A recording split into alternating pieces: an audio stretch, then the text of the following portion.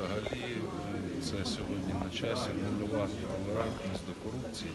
Таких людей однозначно ніхто бачити не хоче у формуванні нашої команди. Конкретно по прізвищам я не буду забігати вперед, тому що ми таки місяць працюємо, ми починаємо формувати цю команду, але однозначно. Я думаю, що в основі буде стояти все-таки професіоналізм цих людей, здатність мислити в стресових ситуаціях, тому що сьогодні саме час щодня, щогодини кидає певні виклики, от, які треба вирішувати. І саме таких людей ми будемо набирати. Будь то агропромисловий комплекс, розвиток інфраструктури, туризм і таке інше.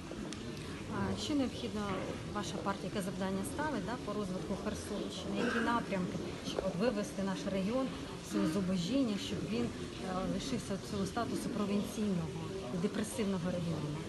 Да, я, чесно кажучи, досить часто чую про депресивність регіону Херсонщини. Ну, насправді е, є певні не ознаки та застереження в тому, що наша область унікальна.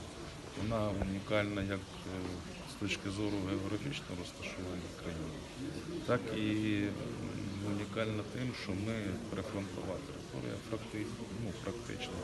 Ми знаходимося поруч з анексованим Кримом, і це сьогодні накладає певний відбиток на взаємовідносини.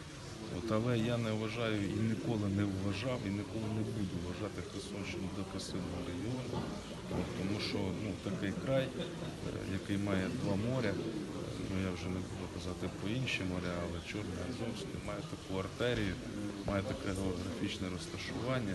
От, він просто приречений ну, бути успішним. says